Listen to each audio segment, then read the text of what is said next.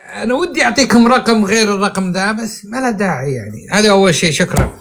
ثاني شيء أبو أسامة. واحدة سبيعية أو دوسرية معليش. في في في تيك توك. قالت في ال live لولا الله ما حدني على هالظروف ولا ما فتحت live أو ما فتحت بث. طيب آه، هذه المرأة هذه المرأة لولا حاجتها ما فتحت لايف طيب من يعاونها في البلد؟ أي خليني أخ- اعطيك أعطيني بس فرصة أقول لك هذا الأمر. هذا شوف من يعاونه نحن عندنا في الم- في المجتمع في الجزيرة العربية اللي يمنع الناس اليوم ان تكفل بعض وتتعاون مع بعض. يمنعها أمرين. الأمر الأول إنه الدولة سنت نظام إنه تبي تتبرع تروح تحطها في آه، جمعية أحسان. هذه نقطة. طيب تتبرع في الشارع تعطي فلوس أي واحد أصبحت من قضايا دعم الارهاب فلذلك الناس أصبحت تخاف. الأمر الثالث الآن وهو السائد انه الناس أفلست. ما عندها فلوس هي ما هي مكتفية حتى تساعد الناس أو تساعد ال- ال- ال- الأيتام والارامل أو يساعد حتى أخوه. الناس خلاص جوفت ال- الجيوب. في ناس الآن اللي عنده أرضين جالس يبيع ارض أو اللي عنده يعني المزرعة يبيع المزرعة ويكتفي بالبيت. الناس بدأت يعني يبغى سنتين أو ثلاث سنوات يكونوا خلاص عرضة للإخراج من منازلهم خاصه إنه أغلب الناس بالمناسبة آه، جالسين بال- بالإيجار. فلذلك قضية التكافل أصبحت ملغية الآن ولذلك هذا بكل أسف يعني آه، ال- ال- القيم قيم التعاون والتآزر والتضحية والكرم هذه خلاص قضى عليها. النظام السعودي. قبل مئة سنة لم نكن بمثل هذه الطريقة. قبل مئة سنة إذا أتى الطارق أو الضيف حتى الرجل إذا كان في ال- في السوق ولا في المرعى آه، يعني يضيف من قبل أهل الدار من ال- ال- الأمهات الجدات المهم النساء يضيفون الرجال. ثم تروح تذبح و... طبعا ما كان في مطاعم ولا فنادق طبعا فتروح يعني تجهز الغداء. تذبح يعني ال- الذبيحة إلى أن يأتي رب رجل البيت. فهذا شوف شوف كيف الكرم. كان في كرم يعني هذه عادات الناس وأطباعهم. الآن لا. الآن الناس ما في آه، القضية هذه أثرت اجتماعيا ترى على كثير من الناس. ما يقدر يصرف على أبوه ما يقدر يهدي زوجته ما يقدر آه، يعني يتواصل مع أخواته. الناس مو كل الناس صاروا يوزعون عيديات الآن. اللي كان يوزع عيدية 100 ريال قبل 10 سنين الحين يمكن يوزع ريال ولا يروح ينام في النهار نهار العيد ولا يقول أنا مسافر يروح يعني. أصبحت الناس تتجنب المناسبات الاجتماعية حتى آه، لأنه عاجزه عن الإيفاء ب- آه، آه، باستحقاقاتها ومكانتها الاجتماعية. فه- فهذا أثر كسر الناس. الناس اجتماعيا ترى مكسورين. تغيرت العادات والتقاليد. في قضية صارت بالمناسبة. قبل شهرين واحدة من المشهورات تكلمت في قضية معينة كذا خالفت يعني على أساس نظام الدولة فأوقفت والان هي في طور ال- المحاكمة وممكن تسجن خمس سنوات. قبل أسبوع طلعت الأم أنا توقعت إنه بتطلع الأم وتناشد خادم الحرمين يطلق سراح بنتها. فطلعت وقالت رهف الله يعني إن شاء الله يعني قلت الاسم. لا حول ولا قوة إلا بالله. المهم قالت فلانه في السجن لكن أنا آه، لكن آه، أختها موجودة. والاختها موجوده جنب يعني تحس إنك في ملعب كرة قدم يعني. أصيبت هذيك وراحت تتعالج وهذه جالسة تسخن وتبي تنزل الملعب. فهي تقول لهم يعني إن شاء الله بتمسك شغلة أختها يعني. هذا الاختها تعرف في بنتها عرفت كيف؟ هذا هو الانحطاط. هذا الانحطاط الآن اللي يصير وهذا اللي سؤالك بالمناسبة إنه وش اللي يعدلنا؟ عدم الفقر طبعا أو سوء الأخلاق والتربية بصراحة. يعني يعني تآكل القيم آه هذا مسألة خطيرة. لكن القيم بالمناسبة تآكلت. لنقل يعني من من دخول اليوم الأول لدخول الخادمات. وكذلك انتشار مهنة السائقين بحيث تجد أسرة فيها أربع بنات وفيها أربع شبان. لا البنات يشتغلون في البيت ولا الأولاد يبرون أبوهم أو أمهم يوصلون المستشفيات أو يقومون بالواجب فتدخل على الأسرة هذه الخادمة. الخادمة طبعا ما هي حرامية. تشتغل بكد يعني بذراعها. لكن الإشكالية الآن وش الخادمات اللي يجيبون لك ممكن يجيبوا لك هندوسية ممكن يجيبوا لك واحدة من النيبال ممكن واحدة ما تتكلم لا عربي ولا إنجليزي ممكن يجيبوا لك واحدة أصلا آه، عايشة يعني في في مكان غير حضري أصلا يعني بحيث إنه ما تستطيع تعيش بمدينة. فالمهم عشوائيات. ثم هذول هم اللي يربون للأسف هذا الجيل يعني نشاهد بين فترة وفترة يعني يقول لك والله صار عندنا جنس ثالث والله صار عندنا مثلا ناس ما تستحي. هي تربية خادمات وش تتوقع يعني؟ فهذه من الاشكالات اللي بدأ المجتمع ينحل لأنه ما استطاع يتأقلم مع الطفرة المالية. يعني جات شوية فلوس بداوا يتفاخرون الزواج ولا شيء ممكن يكلف 50000 لا هي تدفع بأغلى مكان 300 400000 تتحمل ديون. يعني حتى حتى حتى استخدام الأموال ما عرفوا يستخدموها. الآن الأمور أصبحت بالسالب أو في نقص في الأموال ما عارفين كيف يدبرون أمورهم.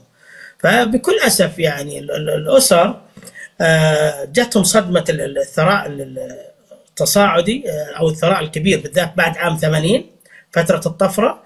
وبعد على وقت سلمان دخلوا في فترة النكبة أو فترة الإفلاس والناس ضايعة. لكن حتى حتى هذا الأمر ترى يقاس في حالة التدين لأنه في فترة الثمانينات كان في الصحوة فالدولة آه، أعطت يعني أفسحت المجال. لأعمال الدعوة فانتشرت الصحوة انتشار كبير لكن بمسحة تشدد الآن مع وجود بن سلمان من عام بعد وفاة عبد الله آه، في حرب على حالة التدين أو المتدينين وفي انتقالة كبيرة الليبرالية نحو التحرر. فالشعب ترى مدووش الشعب ما مدى يتنفس. يعني من التشدد إلى التحلل ومن الغنى الفاحش إلى الفقر المدقع. مصيبة من المصايب جالس يعيش الشعب. طيب فين الرموز؟ فين الشخصيات؟ فين الناس اللي ممكن يعني يعني ترشد المجتمع؟ فين وفين وفين؟ ما حد يقدر. ابو ابو أبو أسامة بقاطعك شوي بس. طيب. الأميرات اللي اللي كانوا يتكلمون يقولون إحنا كان كنا ندعم النساء. عندهم جمعيات. زي بنت الملك خالد. في تصريح لها مع وينكم الآن؟ من بعد خالد قفلتوا صح صح. ترى في كذا يعني في كذا تاجر في مدينة جدة مثلا يعني آه، آه، مؤكد إنه محمد عبده يماني. طبعا هو كان وزير الإعلام السابق بس ترى هو ملياردير تاجر أيضا. هذا كان متخصص في الأيتام. أيتام مدينة جدة وخارج جدة كان متخصص فيهم. أيضا في أحد أحد التجار أيضا في جدة أذكر اسمه كان متخصص أيضا بالأرامل وكان حريص على آه، تأجير لهم مساكن أو حتى بناء لهم مساكن أو شراء طبعا لهم مساكن. وكذلك الأمراء في الرياض أو الأميرات ممكن يعني بالذات من يرق لهم أو الناس العاطفيين أو فيهم رحمة وشفقة. لكن هذا مو من أعمالهم هذه من أعمال المجتمع. لكن المفترض قبل المجتمع يعطون حقوقهم في في بيت المال. ليه؟ لأن إذا إذا أخذوا من بيت المال فهذا حقهم الشرعي. إذا اخذوا من المحسنين فهذه يا أخي صدقة أو يعني يعني في شيء من الإذلال لهم. يا أخي أعطهم حقهم. فلذلك قد يعني يستشعر يعني يشعر بعض الأميرات إن احسن أو من يكفل يعني هذه الفئات الضعيفة. آه، يعني إن شاء الله يكون عملهم خالص لوجه الله سبحانه وتعالى. لكن في أيضا آه، في ناس تستمتع في قضيه صرف الشرهات للفقراء. يستلذون يستلذون بالطوابير. مثل الوليد بن طلال مثلا يجيب لك قنوات فرنسية وقنوات غربية وعنده طابور يا أخي لا يقل عن 300 400 400 شخص. وأنا أذكر شخص كان يعني في فترة من الفترات آه، صادف إنه استدعي. شوف تخيل يعني من ضمن قوات الطوارئ. ويقول والله إحنا جالسين في إحدى المدن فاستدعينا لأمر طارئ. مخيم أمير في مشكلة صارت يعني فرحنا. هو عادة المفروض يروح إذا في في عملية يعني يعني اقرب حراسة منشات أمر في إخلال للدولة رايحين مخيم عند المهم راحوا المخيم فاتضح المخيم الوليد بن طلال. المخيم الوليد بن طلال سنة من السنوات خيم بالقرب من من حفر الباطن. يعني انتشر هذا الخبر فجوا طوابير طوابير من حول المنطقة وليس من حول الباطن لوحده يعني. فوصل العدد يعني أكثر من من 500 ويحتاجون من يرتبهم لأنه عنده يمكن سيارة أو دورية أو حاجة بسيطة. والاخوه إذا كانوا 20 30 وش بيسوون؟ تكلمت على 500 والرجال جالس بخيمة. المهم فجت القوات يعني قوات الطوارئ يقول استعدنا برجال المرور أخذناهم اللي على الطريق وأخذنا حق الدفاع المدني. يقول أي موظف حكومي آه، صار فيه مثل الاستنفار لأنه ممكن يعني المهم فبس أساس ينظمون. يقول لهم جينا نظمناهم. يوم جاء الغروب خلاص غربت الشمس. قلنا لهم تعالوا بكرة اليوم الثاني. رفضوا فالمهم مهزله الأمراء هذول سارقين فلوس ويستمتعون في إذلال الناس بهذه الطوابير. فمو القضية يعني هو لو إنه يعني يعمل لوجه الله بس مش بالمال مسروق لو كان من من من عرق جبينه نقول له جزاك الله خير. بعدين لا تصور. لكن اللي جالس يصير أمور أمور مسروقة. وحق المواطن في بيت المال المسلمين أو في مال نعم وحقوقه الشرعية المالية منهوبة. فهنا إحنا نصنع أبطال. نصنع بنت الملك خالد يقول والله إحنا محسنين كبار أو نصنع الوليد والله الوليد رجل خير. على مين؟ ما ينفع. لكن للأسف الناس دام إنه أعطاني خلاص. هذه مشكله أبو أبو أسامة أيام المراهقة بالعمر يمكن تقريبا آه 18 10 يعني 18 18 20 18 وكان واحد من أصحابي واحد من آه، فيصل فيصل بن آه، بن سعود. بن عبد الرحمن. جاء قال لي آه، إحنا جالسين جالسين كذا جلسة. قال ودك تشوف الناس؟ والله يا أبو إيه؟ قال ودك تشوف الناس؟ شلون نشوف الناس؟ إحنا جالسين في ملحق. قال تشوف الناس الضعوف يا حول والله العظيم إنهم يضيقون الصدر. قلت وين؟ نعم. قال مشينا ورحنا البيت أبوه في رمضان. إحنا الكلام في رمضان. مم. يوم لقيت كذا اسرى اسرى قال تعال تعال تعال. تعال شوف شوف الحريم وشوف الرجال شلون يشحذون. والله العظيم إنه سولف لي هذا وهو هو يضحك. يقول ما أدري ليش يشحذون. هو يس يقول لي ليش يشحذون. صحيح صحيح. و... وأنا مستغرب أنا. وتعرف آه، آه، أبوه جالس بجنبه وأنا جالس. ف... فقال لي إيش رأيك تعطيها 500 الحرمة هذه؟ أساس يتصدق. المشكلة بشعور المواطن. إنه يعني هذا رجل محسن. ما ما ما يشعر الرجل آه، أو في قرارة نفسه إن أمواله منهوبة وهو مسروق وهو ضحية. للأسف هذا الشعور مو موجود. فخلينا آه، اخذ نقطة النقطة الخامسة وهي قضية المصاريف. طبعا أنا ذكرت بحسب آه، إحصائية أو بحسب تقديرات الاقتصاديين المعتبرين أو ما نشر بالصحافه السعودية وأذن له يقدرون 16000 هذا الحد حد الكرامة في مدينة الرياض. فلذلك لو قسمنا إحنا الآن الإيجار قيمه الخروف وصل الآن قيمة أو فاتورة الكهرباء أو أو الغاز أو أو الإيجار اللي ما عنده طبعا الإيجار كيف ارتفعت؟ آه، مصاريف الزوجة الأولاد المدارس السيارة قديمة صيانة إذا جديدة أقساط الوقود بقية المفترض يكون آه، رجل كبير في السن. خلينا نتكلم مفترض يكون جد طيب إذا جاك الحفيد وش تبي تعطيه؟ تعطيه هدية تعطيه حلوى تاخذه تاخذه معك توديه السوق جاء العيد عندك بنات متزوجين عندك أخوات آه، أيضا كبيرات في السن عندك جدات على في أمك وين وش تبي تسوي؟ مشكلة هذه يعني هذه ترى أزمة اجتماعية تهادوا تحابوا الناس صارت فقراء لذلك المتقاعد وصل إلى مرحلة الفقر الغذائي.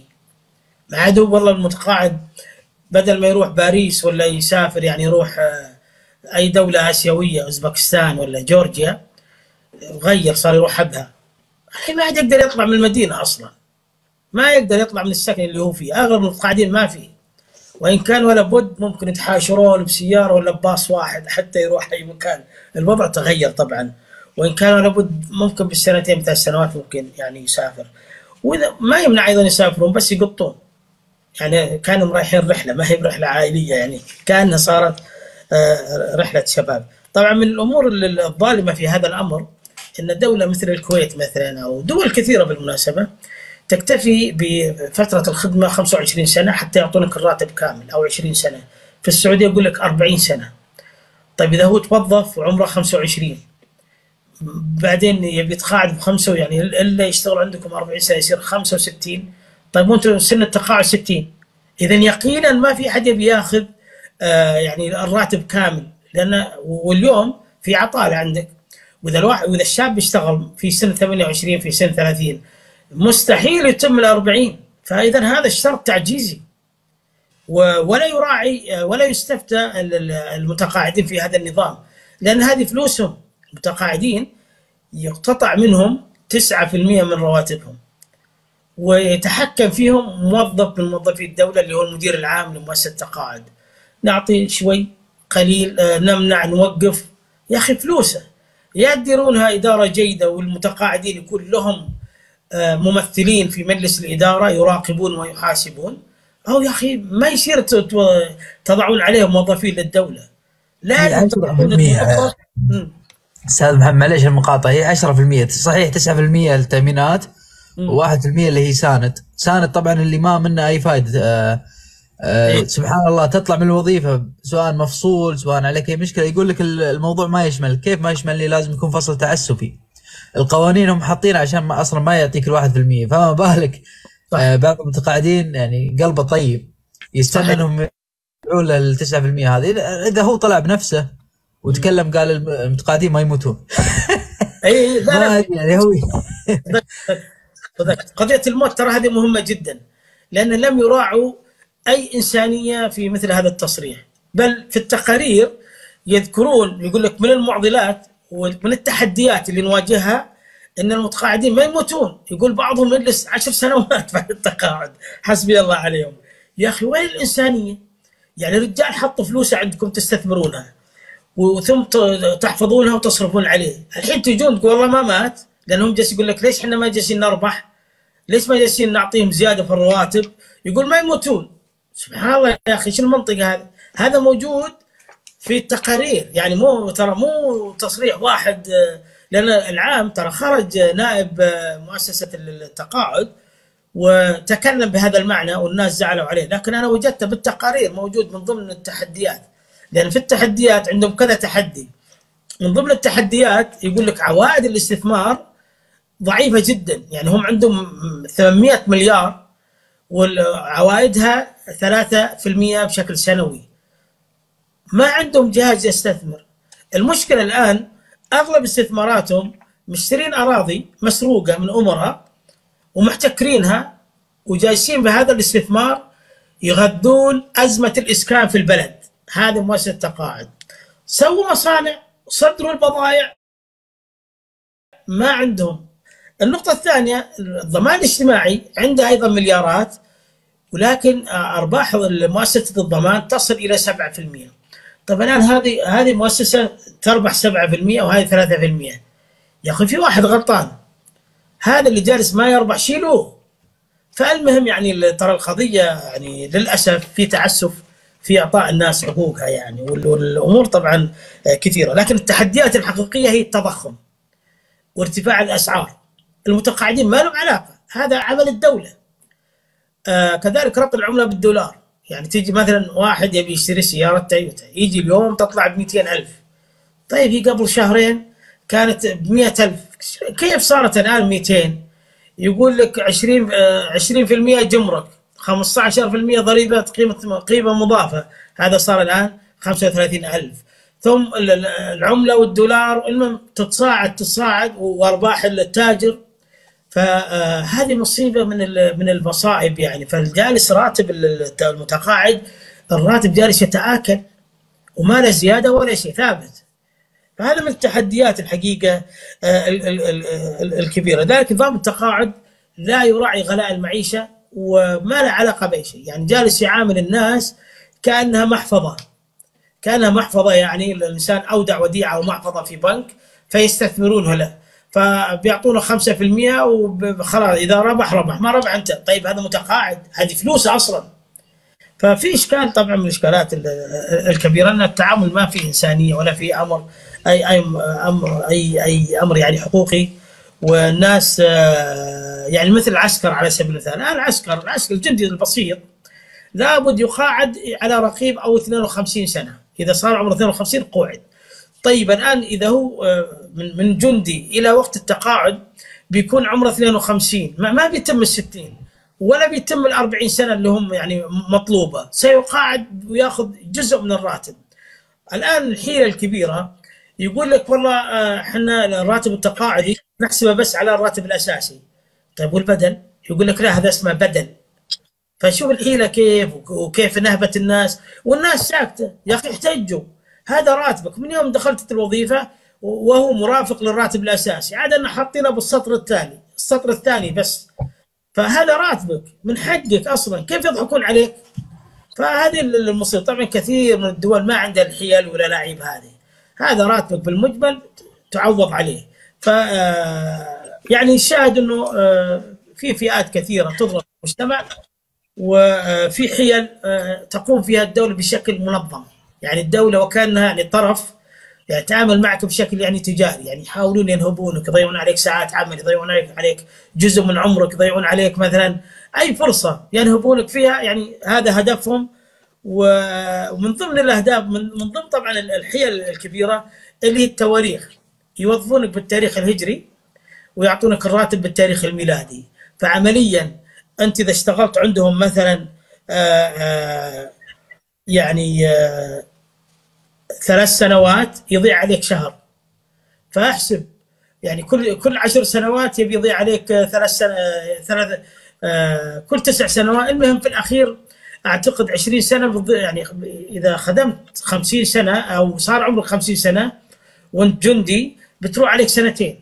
ما يعطونك حق يعني مستحق سنتين والسبب لعبة الهجري والميلادي. طبعا هذه سووها في فترة من الفترات. يبدأون يصحوا صحوا هذا الأمر قبل سنة أو سنتين لكن أغلب المتقاعدين لهم سنوات. ففي في يعني تحس إن هذه الدولة أو هذه المؤسسة خصم حقيقي للمتقاعدين. طبعا المتقاعدين مليون. جزء منهم عنده القدرة على التنظيم بالذات العسكريين. عسكري عنده انضباط اللي أكبر منه رتبة يسمع له ويطيع. وفي توزيع. ما هم ما هم موظفين مدنيين. فهؤلاء ترى أخضر للقيام باحتجاجات تظاهرات وعندهم ترى حتى الأمن الشخصي. وكثير من المعلومات الأمنية بحيث هم زملائهم اللي يقمعون الناس. هم أصلا فترة من الفترات كانوا يقمعون من يطالبون بحقوقهم. فهؤلاء بالمناسبة ترى هي قوة كامنه ممكن بأي لحظة من اللحظات آه إذا شعروا إنه أهينوا كناس يخدمون الدولة طول هذه السنوات ثم ما يعطون ما يعطون يعني آه حقوقهم. لذلك قضية تجفيف المنابع ممكن بأي لحظة من اللحظات طبعا يثور الناس عليها. باقي شوية نقاط لكن إذا كان إذا إذا أبو ياسر عنده شيء أو ناخذ قصات أو ناخذ يعني المداخلات ممكن جيد.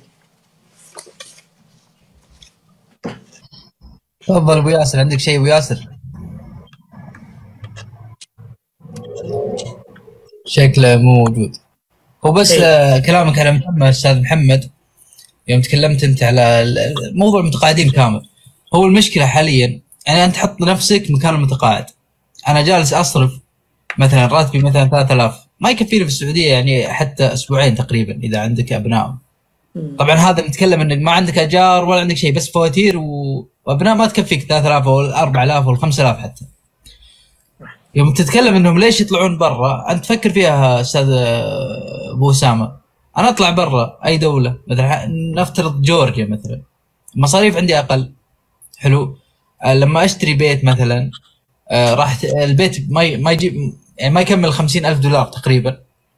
وفي نفس الوقت أقدر أخذ إقامة دائمة مدة ثلاث سنوات أو سبع سنوات. فيها سنة وسنتين تأخذ آه ترافل دوكيمنت فهمت؟ يديك تسافر زي الجواز. بعدها تكمل سبع سنين وتأخذ جواز. ويصرف تقريبا بنفس المبلغ هذا بيعيش حياة أفضل بكثير. نوعية الحياة اللي بيعيشها أفضل من اللي يكون في السعودية. فهو ما عنده شيء يربطه في المملكة. صحيح. يعني هو لا لا عاد هو صالح للعمل. عشان تقول مثلا يمكن يشتغل في السعودية. وخضرة ووجه حسن هناك ويمكن يتزوج له جورجيه ويرتاح هذا وجهة نظري متقاعد إنه أفضل له أصلا يطلع برا السعودية. وترى عمليا عمليا ترى في بعض المتقاعدين بعد ما سكن برا فعلا تزوج بدون يعني ياخذ تصريح. فنشأت عن هذه الزيجات الآن في أولاد معلقين مساكين. لا عنده لا اوراق الدولة ذي ولا الدولة ذي هذه مشكلة طبعا موجودة.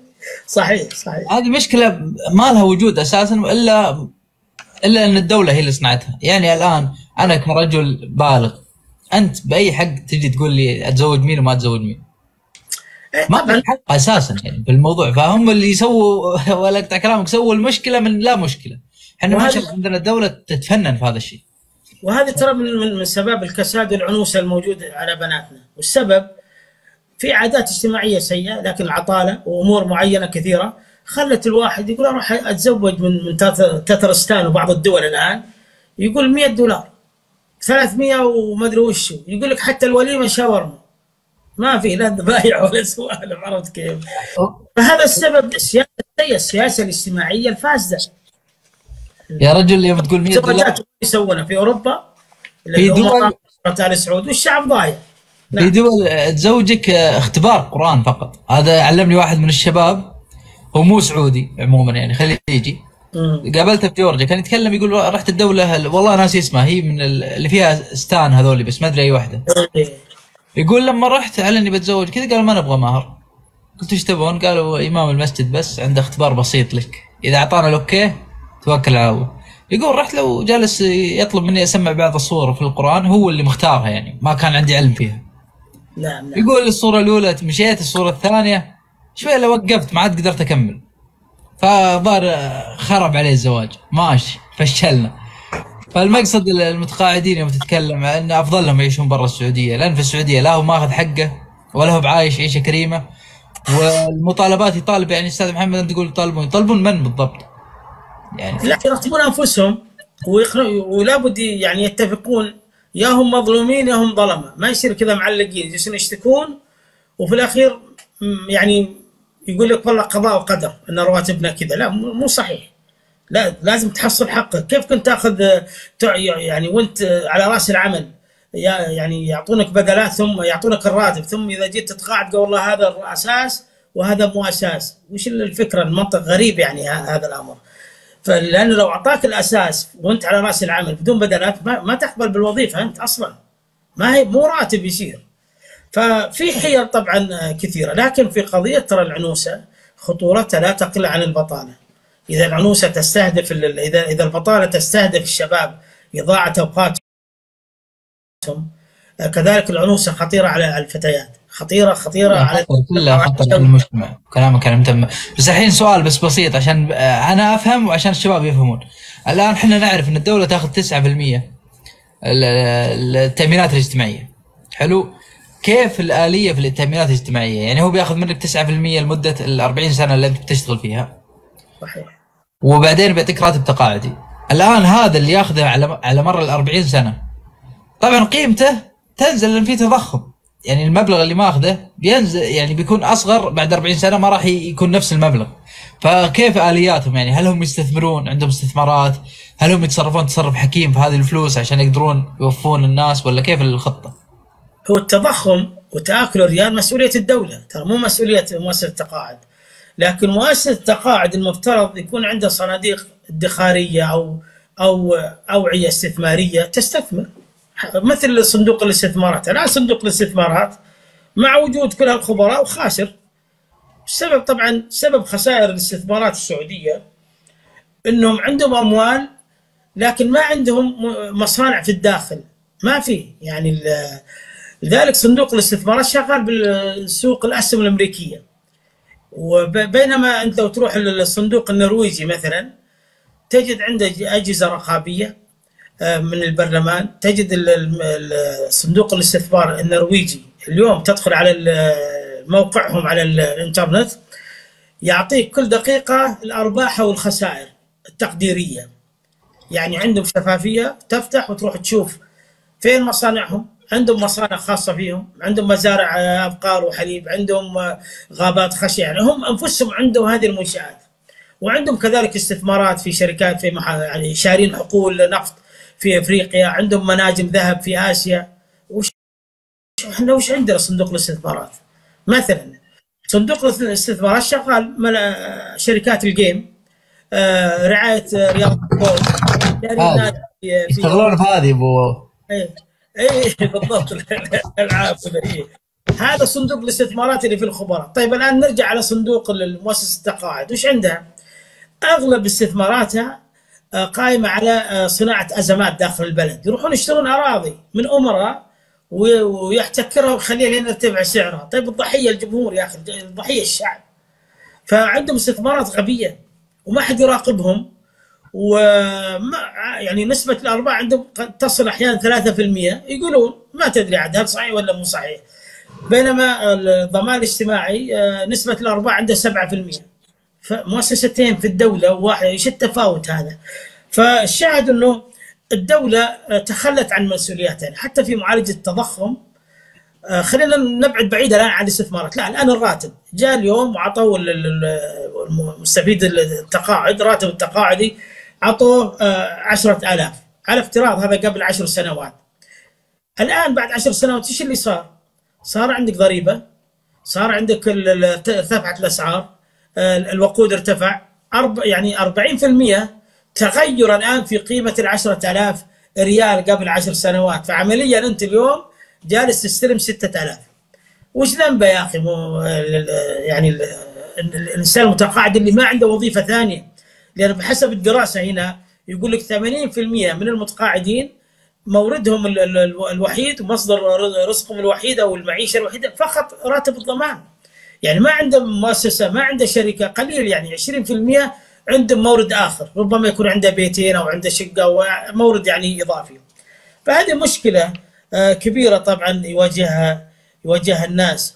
لكن المشكلة ترى ما تقف هنا. الآن تقريبا بحسب الإحصاء عندك أكثر من مليون عاطل قليل منهم اللي يعطى مستحق ويؤهل حتى يعني يجد وظيفة. عندنا مليون ومئة ألف تقريبا أكثر من مليون من مستفيدي الضمان الاجتماعي ما بين احتياجات خاصة وأرامل وأيتام وجالسين ذول مساكين يعيشون على أربعة ألاف ريال. آه وعدد الأيتام والأرامل 220 ألف. رقم فلكي أو رقم يعني كبير. ثم عندنا متقاعدين أكثر من مليون. عمليا عندك ثلاثة مليون على خط الفقر. بل في ناس تحت خط الفقر. فهذه من, من الأمور الخطيرة جدا في المجتمع. ليه؟ مع الفقر والإفقار والفشل في سياسات الدولة ينشأ ضعف الولاء.